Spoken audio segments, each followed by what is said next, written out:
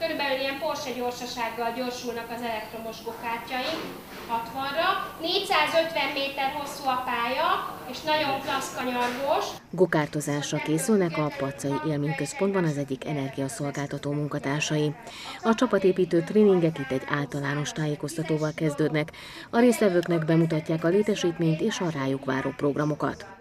Nagyon sok cég is keresi erre az alkalmat, és szerencsére megtalálnak minket.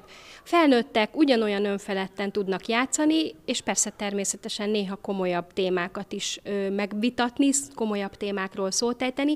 Jó sok tágas terünk van, ahol szinte a természetben, de mégis össze tudnak gyűlni egy prezentációval, egy szakmai megbeszéléssel, amit kiegészíthet utána a gokártozás, tréfás népi játékok, amit mindenki nagyon szeret. A csapatépítő napra érkező cég az elmúlt időszakban több új munkatársat is felvett, így a hétvégén nagyjából 70 fő részvételével tartották meg a programokat. A vállalkozás vezetői számára fontos volt, hogy természetközeli helyszínt válasszanak, és hogy a feladatok növeljék a dolgozók önismeretét, illetve kommunikációját, valamint a közösségi összetartást. Vezetői körben sokat beszéltünk arról, hogy mi a legmegfelelőbb környezet, és azt gondoltuk, hogy ez a természet közeli eh, hely ez sokkal jobban segít minket, hogy közelebb kerüljünk egymáshoz, és eh, rengeteg program eh, van, ami, ami ugyanezt segíti, úgyhogy azt gondoljuk, hogy tényleg egy jó helyszínt sikerült választanunk. A résztvevők azt mondták, a Pacai rendezvénypajta és az élménybirtok programjaira a mindennapok során is örömmel fognak visszaemlékezni.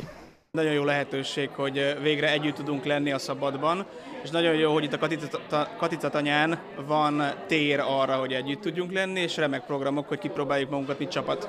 Mert hogy azért sokakkal még nem is találkoztunk, tehát most vagyunk igazából fizikailag együtt, így, így sokan, és azok a programok, amik itt vannak, akár a kokárt, akár az, hogy trampolinon tudunk ugrálni, vagy el tudunk menni közösen állatokat megismerni, természet közelben állatokat simogatni, az egy nagyon jó élmény, ami egyébként a hétköznapokban is egyrészt segít nekünk együttműködni, tehát megtanulni jobban csapatként együtt dolgozni, másrészt pedig olyan élményeket szerzünk, amiből a hétköznapokban utána jó, jó, érzéssel tudunk visszagondolni rájuk. A Katicatanyán ugyanakkor a fenntartható és környezetbarát háztáji megoldásokkal, valamint a térségi gasztronómiával is megismerkedhettek a céges látogatók.